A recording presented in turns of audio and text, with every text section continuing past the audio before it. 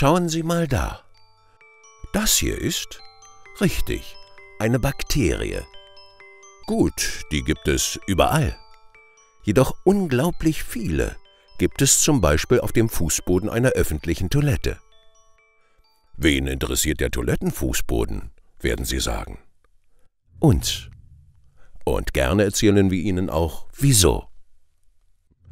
Allein in Baden-Württemberg leben rund 380.000 Menschen, die aufgrund einer Erkrankung, einer Behinderung oder des Alters wegen auf Windeln angewiesen sind.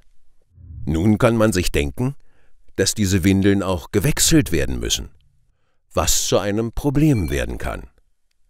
Besonders dann, wenn man gerade unterwegs ist. Auch Menschen, die auf eine Windel angewiesen sind, gehen gerne einkaufen, ins Restaurant, ins Konzert, zum Sport oder mit der ganzen Familie spazieren.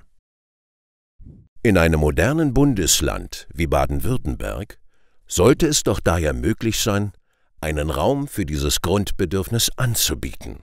Doch tatsächlich sieht es leider ganz anders aus. Babywickeltische gibt es viele, aber die sind viel zu klein für Jugendliche oder Erwachsene. Und so endet dann eben alles dort. Genau, auf dem Toilettenfußboden. Wir vom Landesverband für Menschen mit Körper- und Mehrfachbehinderung finden diesen Zustand schlichtweg menschenunwürdig. Wir fordern daher Toiletten für alle. Was das ist? Ganz einfach. Man benötigt eine große Toilette für Rollstuhlfahrer geeignet, eine Liege sowie einen Hebelifter für das Umsetzen vom Rollstuhl auf die Liege und zurück.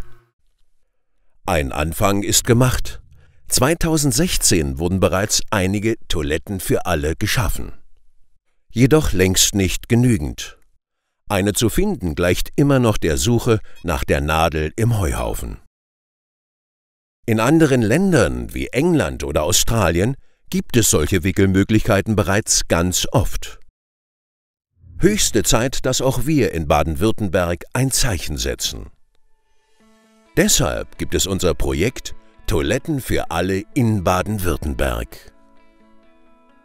Wichtig ist vor allem, dass die Gesellschaft für solche Themen sensibilisiert wird.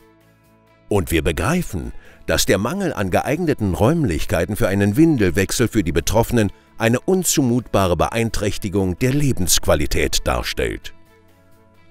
Lassen Sie uns gemeinsam gegenüber Entscheidern und Verantwortlichen ein Umdenken fordern.